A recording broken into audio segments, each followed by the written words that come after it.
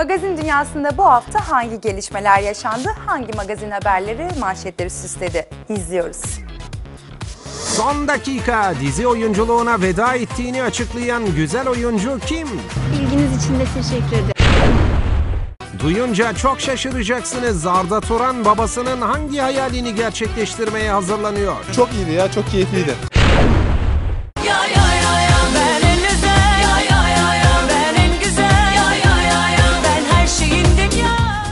Geçtiğimiz aylarda 8 yıllık evliliğini noktalayan Özlem Yıldız'ın boşandığı eşi Sinan Serter'e yaptığı büyük vefa herkesin dilinde. Sadece sevgi de yetmez, sadece saygı da yetmez. Başka bir şehirde karşılaşırmışız Dostça ayrılalım belki selamlaşırız Özlem Yıldız boşanırken eşi Sinan Serter'den hiçbir maddi talepte bulunmamış, sadece oğulları Demir için kendisine aylık 500 lira nafaka bağlanmıştı. En çok kimi seviyorsun?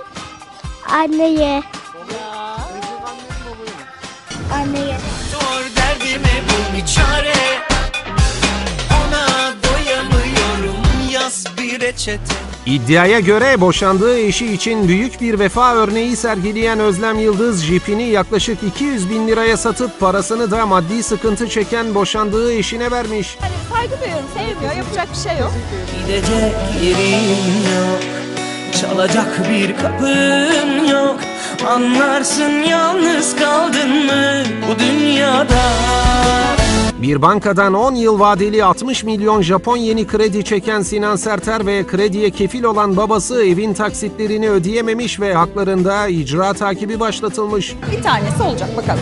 Usul usul ellerini uzat ben tutarım Yine ben duyarım seni Serter ailesi borca itiraz etse de bankanın alacağı konusunda ısrarcı olduğu bildirildi. Ayrıca Sinan Serter hakkında daha önce de kredi borçlarını ödeyemediği gerekçesiyle 6.7 milyon liralık ihtiyati haciz kararı alınmıştı. Yani ne diyeyim şu anda ben söyleyeceğimi söyledim. Ben daha başka